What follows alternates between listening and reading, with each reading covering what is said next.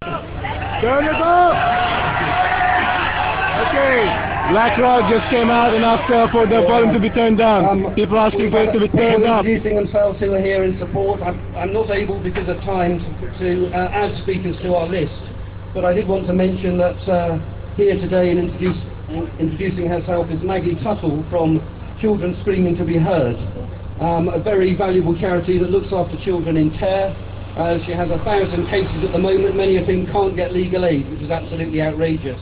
Uh, Maggie is at the front. If anyone wants to meet her or find out more about her charity, raise your hand um, or check out their website on www.childrenscreamingtobeheard.com. It's a very valuable cause. Thank you for being here, Maggie.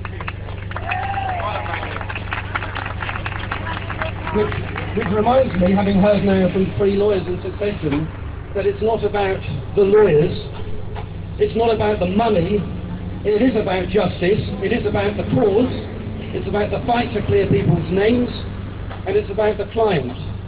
So our next speaker is a, a client, someone who has the benefit of legal aid, who spoke very eloquently uh, on the uh, media this morning, um, and will probably do better at sticking to the three-minute time limit than uh, others. So um, can I call up to the stage uh, our next speaker, Francis Nettles.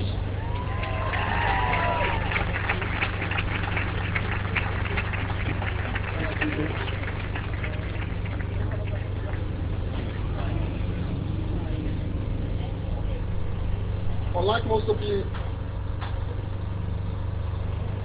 unlike most of the other speakers here today, you won't have heard of me. I'm not a leading QC or judge. I've not been the victim of an infamous miscarriage of justice. What I am is an ordinary working family man, and I once was nearly the victim of a miscarriage of justice, the kind which could happen to anyone. Cases like mine and people like me are why access to justice is important for all. This is my story. A couple of years ago, there were some kids local to where I live causing problems with their anti-social behavior.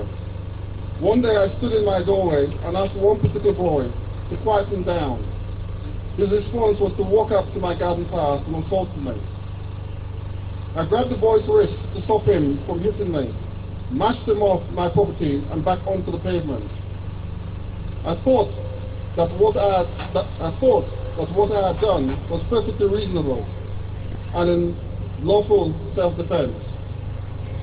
My brother had called the police, but when they arrived, they spoke to the boy first, and he accused me of assaulting him.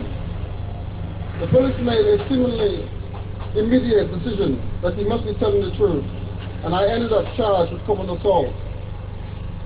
If I was convicted, I could have gone to prison. I wouldn't have lost my job and may well have ended up on welfare. Who knows what it would have done to my mental well-being. My life would have been ruined and my family affected too. And whilst my life may not matter to Chris Grayling, it damn well matters to me.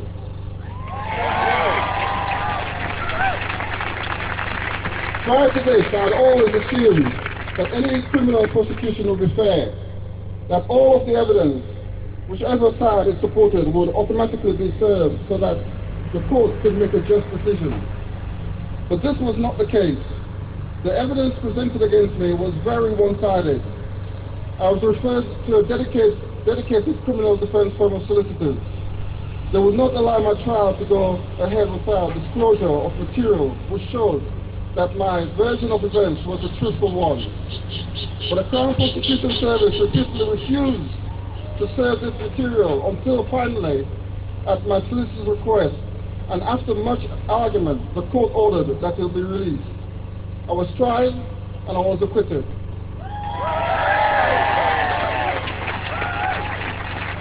Had I represented myself, I thought I have obtained the healthier material which the CPS stood firm in its refusal to assist. You, you only realize the power of the state when you're personally up against it. My finance meant that I was granted legal aid. I could not have afforded to pay privately, especially for the extensive work, for the extensive work which needed to ensure I received a fair trial. Without my legal aid assistance, I could easily have been found guilty of something I could not do, I did not do. And it was only the determination, effort which secured the evidence which helped me prove my innocence. Sadly, it seems the police and the CPS cannot always be relied upon to investigate and prosecute fairly. This is no doubt affected by the budget cuts they themselves face. But this makes it all the more important that the defense is properly funded to make up for the deficiencies in the prosecution and to ensure that justice can be done. Will amount to denial of justice via the back door for ordinary people like me.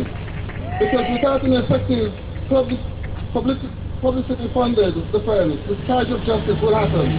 You can't keep cutting legal aid without affecting how well defense lawyers can do their job. And when miscarriage of justice happens to ordinary people like me, there won't be public inquiries or campaigns to highlight our cause. There will simply be quiet every day, injustice, and all the appalling consequences which follow. Chris Grayling says he can't afford to fund legal aid. Francis Bacon says we cannot afford not to.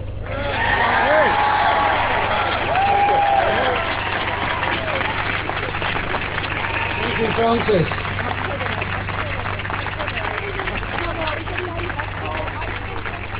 Uh, next up, also someone from a crime perspective, uh, with a moving story, Noella Clay.